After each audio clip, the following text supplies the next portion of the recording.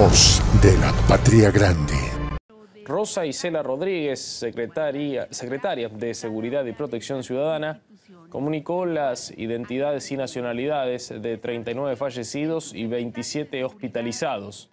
Se trata de ciudadanos de Venezuela, Guatemala, El Salvador, Honduras y Colombia.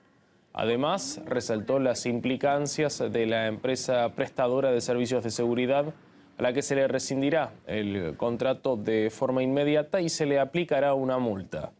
La funcionaria informó que la compañía presentaba diversas irregularidades en el registro de sus empleados vinculados con los centros de migrantes. Por último, dijo que el presidente López Obrador dio la orden de reparar el daño a los familiares de las víctimas. Voz de la Patria Grande.